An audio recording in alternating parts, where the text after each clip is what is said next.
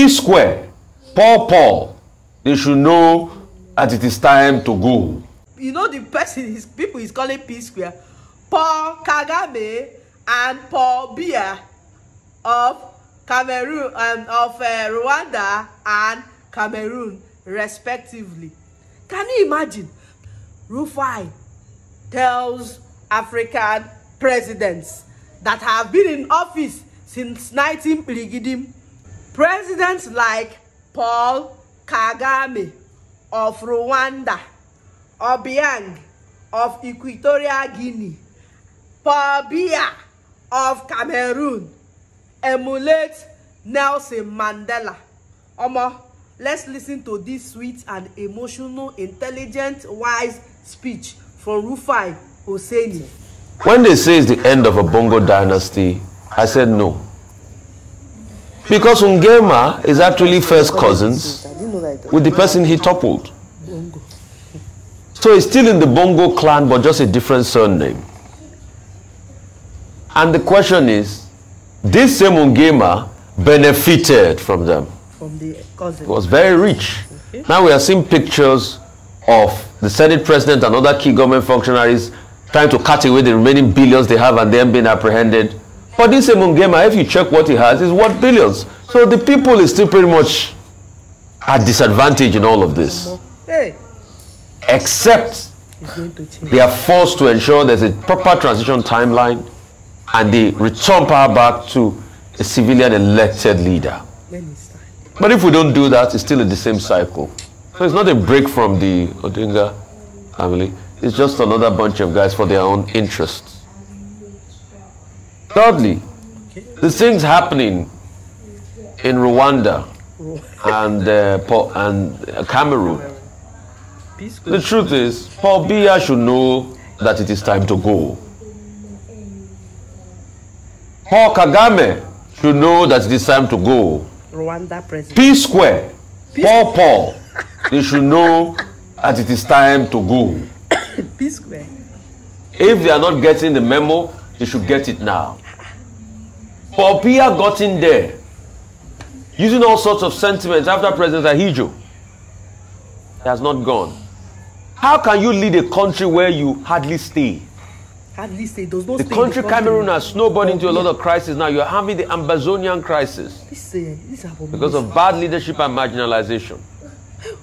You are always somewhere in Europe can you imagine. with Madame Chantal, it can happen in while the young people in your country suffer. Is it a time for all of this to be over in Cameroon? Because at the age of your 90s, you still want to go for another election cycle again. 90 years.